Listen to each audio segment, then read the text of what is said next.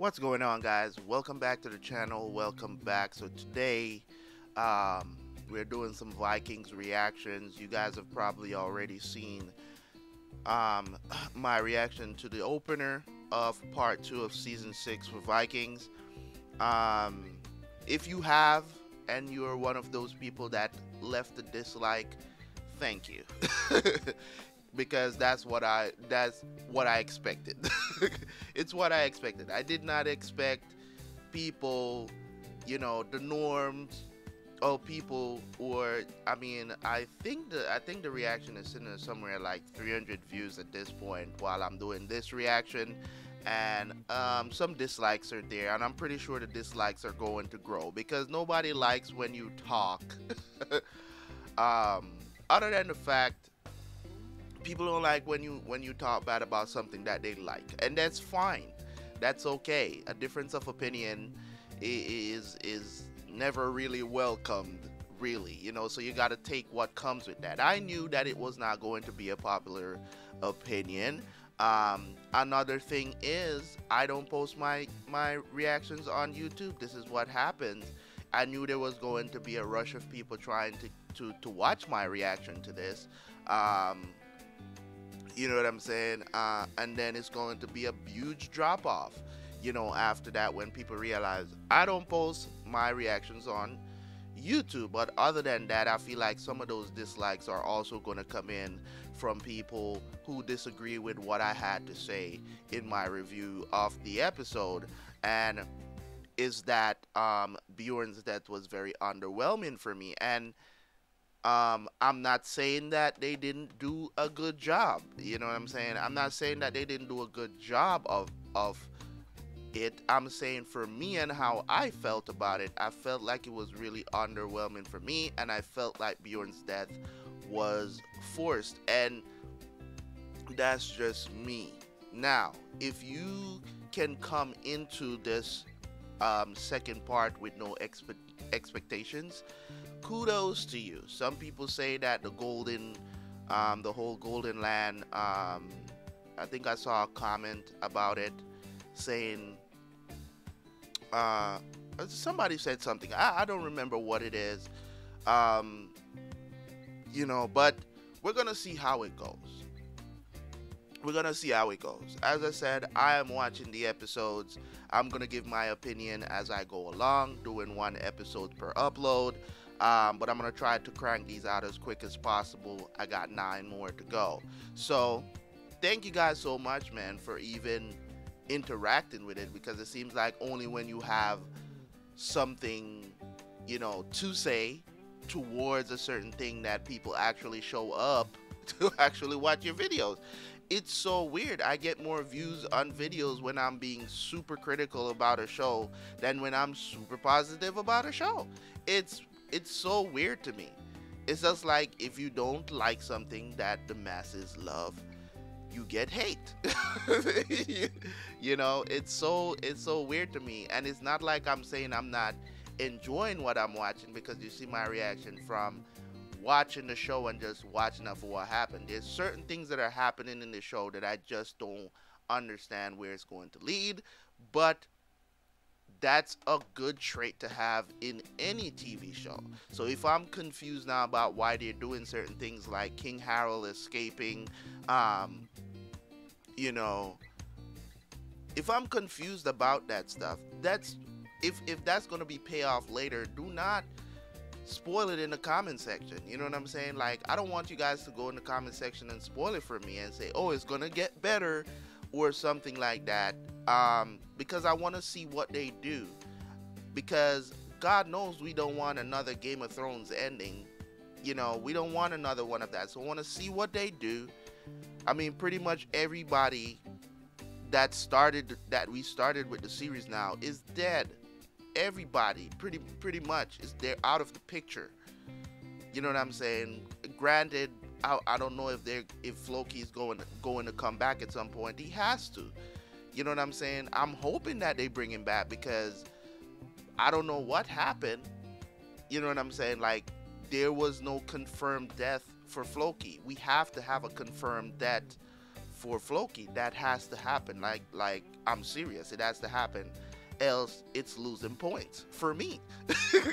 you know? Um so I'm just saying and as I said about Bjorn's that is not that they didn't do a very good job. It just didn't have the impact for me as when Ragnar and um, Lagertha died. I think, don't get me wrong, it was a great scene. They did an excellent job of how he went out with the arrows in the chest and lifting the sword. Everything was done well. I just felt like the way of what led up to Bjorn's death, it just for me just felt underwhelming. And maybe I'm the only one that feels this way, but I'm not going to take that back because you dislike my video. so let's get to the action. I will see you guys for the review of episode 12. Let's go.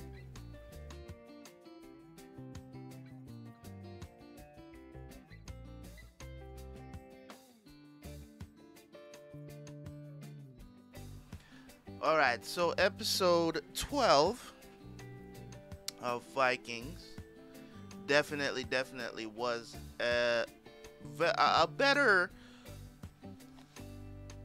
episode, in my opinion. That's not to say that the first one was bad, but good, great, great start. So let's talk about some of the stuff that is happening here. So let's talk about Kattegat first. Um, so the situation in Kattegat, them trying to find a new ruler. So they have summoned the whatever people to come down and um, you know them to do an election. So it's between um, Gunhild and what her name is. I um, it's not Igor. um, uh, what her name is. I don't remember her name. Okay, I'm super bad with names. You guys should know that by now. I, I don't remember names very easily. So you guys know who I'm talking about. It might come back to me as I'm talking about it, but the situation between Gunhild, Eric, and what's her name. So in my opinion, I think because he's playing them against each other, I think he wants to be king. So he want maybe he wants to see if Gunhild will take her out. You know what I'm saying? Maybe he wants to see that. I don't think she should she she was trying to she slept with him because she's trying to influence him more to her side. And I think that he know she knows that Eric is probably playing both sides, you know.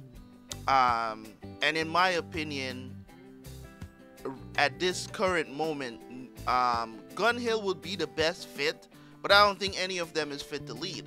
So it, it's it's for me, it's just like um, I as I said, I think Gunhild will be the best choice out of everybody that's in Kattegat right now. She would be the best choice. She's a shield maiden.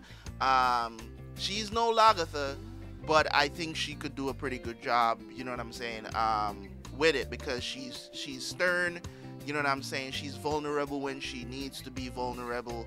I mean, at the end of the day, you know what I'm saying? She she kind of brings that same feeling as when Lagertha was in charge. I don't know if she would do as much for Kattegat as Lagertha did, but I think she would be the best choice.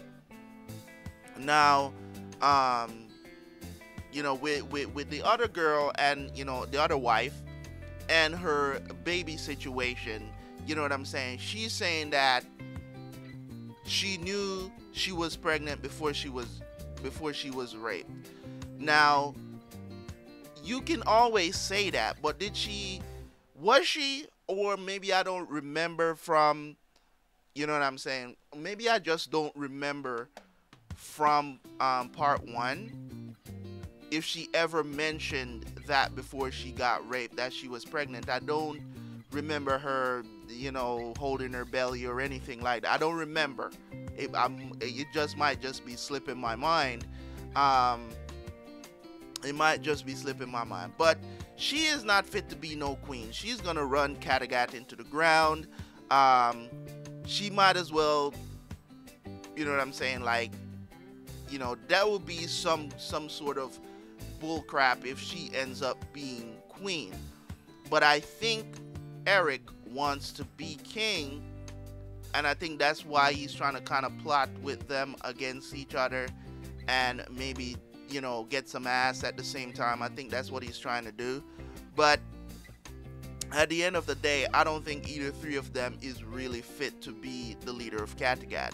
You know, um, but I think Gunhild would would do the best job out of all three of them. Okay, so all right, so let's talk about Golden Land storyline right now. It's piquing my interest a lot more now after this episode. That's why I said this was a great episode because at least it seems like it's actually moving along and it's getting somewhere. We're seeing the conflict between Kjetill and the other dude. As I said, terrible with names. Kill me in the comment section if you will. Um, right? So Ubbe, they received the news about Bjorn, and you know, I like the way how Ubbe, Ubbe, I like the way how he handles it. He handled it, you know, doing a toast. You know, there's no need to to cry over Bjorn. You know, um, and I also I, I just like the like the way how they handled that. You know, dude that brought the news. They celebrated the toast. You know what I'm saying? He lived a, a, a, a good life. He was a legend. He was a hero. Good times, right? But then um, Ubbe did say something in this episode that really um, stood out to me. You know, he did he did say something that really stood out to me that you know Ragnar never wanted to be king, and that is so true. It's um, it's facts. You know what I'm saying? Like you, you there's nobody that can say otherwise. That you know what I'm saying? He despised being king he was just chosen by default because he killed a dude. You know what I'm saying? That was king at the time. He was just chosen by default. Um, took the sword and everything. He was just chosen by default. And then he just he did it because that was just his natural that was just his natural leadership qualities that he had faded him to be in that position you know, um, to, to stand up for, you know, the right things and, and, and stuff like that. Family was the most important thing to Ragnar. Ragnar could give a damn about royalty. You know what I'm saying? Um, he just wanted to travel and see the world and meet great people and make and, and to to do things that were better for his family. If he had to fight to get it, he would do that. If he had to talk, you know what I'm saying, to other kings or queens or whatever to get it, he would do that because he just wanted better for his family, for his people, you know what I'm saying? And those are just kingly qualities, you know what I'm saying? So um, he excelled in that. And that's the reason why anytime there's a callback to Ragnar, I'm going to be super happy about it because as I said, seasons one through four was the golden era of this series, hands down. I dare you to challenge me. You know what I'm saying? Um, I know there are people out there that think that season six is the shit and nothing can can can top it or whatever the situation is. But if you've really been following this series for the story, you would understand where I'm coming from when I when it comes on to certain things because we've been on this channel been super critical of Vikings, especially throughout season five, which I believe is the weakest season of the entire series. Um, so season six has really picked it back up. As I've said in part one, they picked it back up, kind of went back to their roots and stuff like that. Um, and as and I'm reiterating it again, it's not that I did not like season 6 episode 11 which was the last episode it's not that I did not like it it's more of like I did not feel the impact of Bjorn's death but if you did that's fine that's okay you know what I'm saying um Another thing I wanted to talk about in this episode is what's going on back in Rus or wherever they are. Right? We got there, Prince Dir coming, telling Ivar, you know what I'm saying? Like we're we have assembling our army, just wait for the signal. We have backed Oleg into a corner, so don't give up. We're out there, we're getting ready. Right? He's bearded up and stuff like that. I'm surprised he can even talk properly because that thing was through his mouth, right? That the, the, the chain and stuff was through his mouth. I'm surprised he can even talk properly. Because usually that would affect you, you know, over time. So, in any case, um, sorry. So, when it comes on to what's going on over there in Rus, then the most interesting thing is what's going on with Ivar right now because it looked like Ivar got some. Like seriously, like got some. I, I don't even know how she she got it up for him. I I mean, are they trying to tell us that he actually did have sex with Freydis? Like, is is that what hap- really happened? Because I thought she, no, she didn't. She didn't because we know she went and, and got pregnant by some other dude and then said it was Ivar's baby, right?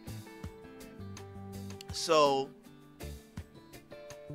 um, in this situation, it seems like they did it, and now, you know, it's the post the post nut clarity.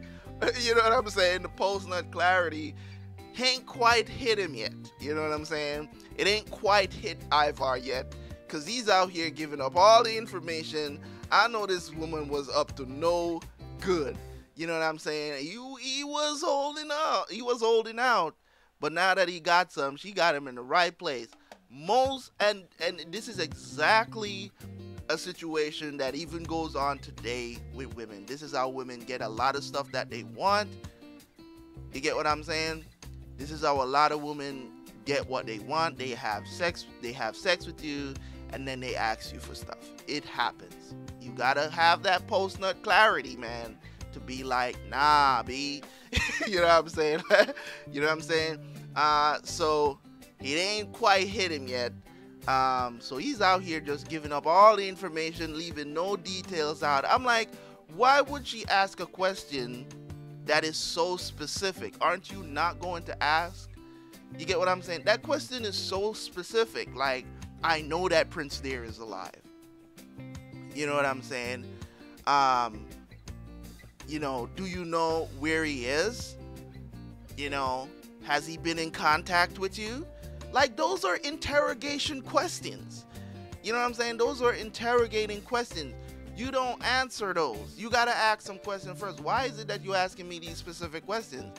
And of course, you know what I'm saying? This this she's been trying to get through to Ivar for the longest time, and I really do think that she's not going to betray Oleg. I don't believe that she's going to betray Oleg. You know what I'm saying? And I think specifically because he probably saw Ivar looked at her, you know what I'm saying? That's the reason why he's he sent her out on a path to get information from Ivar just in case he's planning anything, right? And here we go. I think this is going to be the downfall of all this planning now because I think um, whatever her name is, she's gonna go back to Oleg and let him know. Now to talk about what's happening with um, Prince, What is his name? Just had the name. Oh. I just had the name on my tongue, man, and I completely. Oh yeah, her name is Ingrid. Oh my God. You see, you see, Ingrid, Ingrid, whatever her name is, that's her name. The other wife, that's her name. Now that I'm trying to remember names now, Igor is the little boy's name. The little prince, Igor is his name. Okay, so I've remembered all the names now. Congratulations, Terabyt. You remembered all the names. all right, so Igor's situation is very specific because is he trying to, to let him grow up fast enough so he dies in battle? I think that's what Oleg's plan is. That's just my opinion. I think he wants to make him grow up fast and say, "Oh, I'm trying to teach him a lesson, blah blah blah." Then he puts him in a battle because he has to learn or whatever, and he dies in battle. And I think that's his whole intention of all of this. Situation with Hvitserk also, with um, him, you know, taking the the the, the, the um the poppy smoke or whatever the situation is. We all know the situation um, that led to him stabbing Lagertha. You know what I'm saying? He was on drugs. He was out of his mind. You know what I'm saying? He was a junkie. And he got back sober and he was tempted and he couldn't resist. So I didn't want to I don't want to see him in that position again. I know I, I know I'm not rooting for the Rus and them you know, they're on that side. I'm not rooting for them. But I don't want to see him like that again. You know what I'm saying? So, in any case, guys, I think I've covered everything in the episode. I'm going to move on to watching episode 13. Thank you guys so much. Appreciate y'all. I will see you guys for the next one. Leave a like, leave a dislike, leave a comment, whatever you so choose. Because at the end of the day, that's all it is. And my opinion is always going to stand. I don't backtrack on anything I say on this channel. So if you don't like what I had to say on episode 12, I'm also like episode 11. It is what it is. Thank you guys so much for tuning in as always. I know this video is probably not going to get a ton of views like the last one, um, but hey, because I usually don't do that much views anyways, but it's okay. Um, appreciate you guys nonetheless. See you guys for the next one. Peace.